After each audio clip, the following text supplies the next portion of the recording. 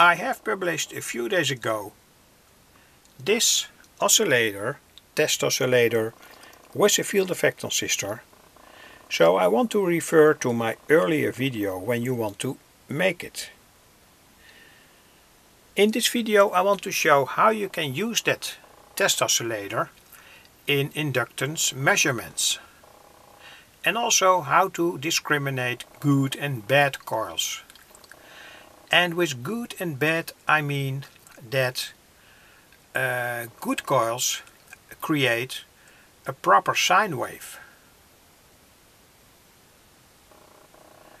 There is a fixed relation between the frequency and the inductance and here I have some coils with a known inductance. Uh, they uh, came with my dip meter and I've measured these coils. And when you um, switch move this switch to the upper position or the lower position uh, you switch an extra capacitor here from 1 nanofarad. That also means that it has an effect on the oscillation frequency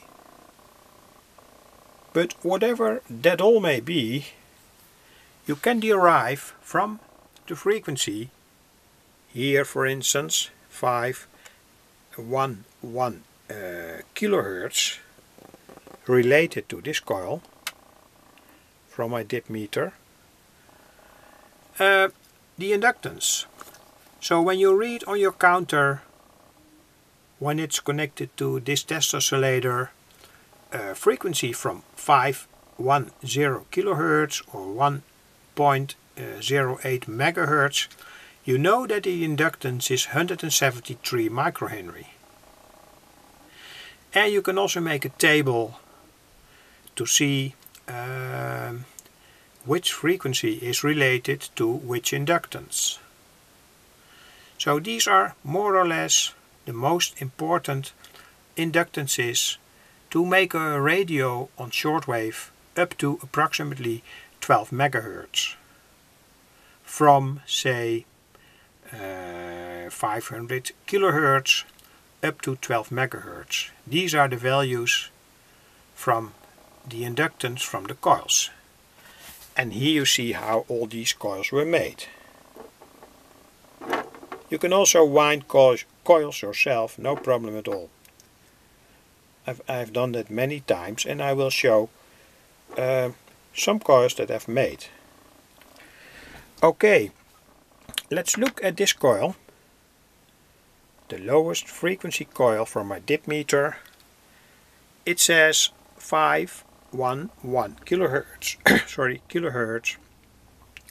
When I push the switch, it goes to 1.09 megahertz. And that's also visible in this table.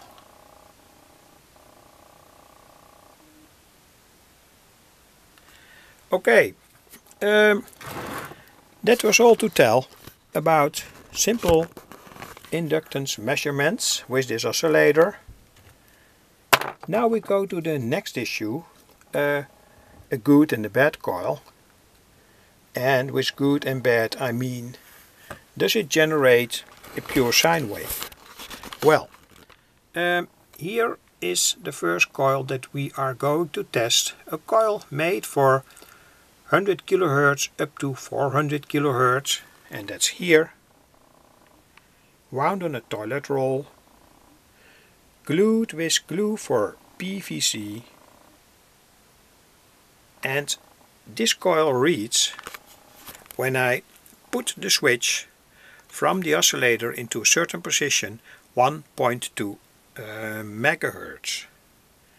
And when I put the switch from the oscillator in another position, it reads 565 uh, kilohertz. So that is more or less the bandwidth from this coil.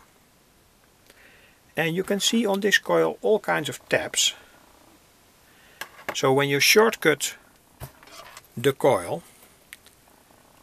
for instance I here and now I shortcut the coil, you can see that the frequency goes up. Now the coil is shortcut.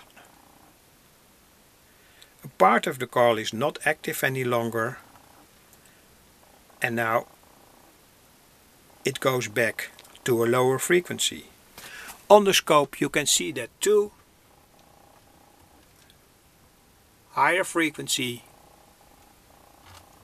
lower frequency. Again to some other coil. Um, this coil for instance, the blue one. I found that this quite strange coil, the blue one, uh, made Eh, a frequency on 4.9 megahertz. When I do the switch on 10.3 megahertz and on that frequency 10.3 megahertz had a quite good sine wave so I did not expect that from that sloppy coil. So useful on these frequencies. Go back to another coil that does not have such good properties. I hope it will oscillate. Well, it doesn't. So, strange going to the next coil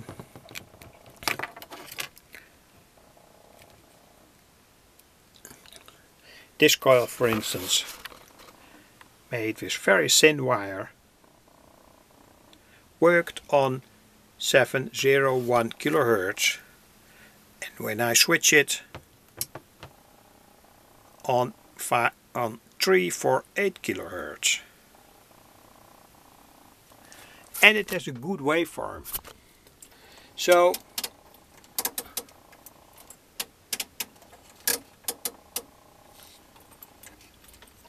this is the waveform, good waveform.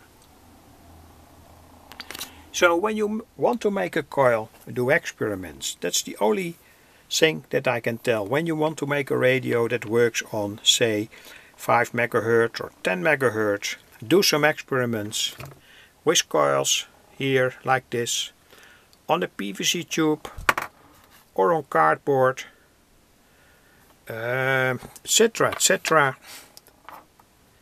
and uh, uh, experiment as long till you find a coil that works properly in the frequency band that you want to use and has a good waveform.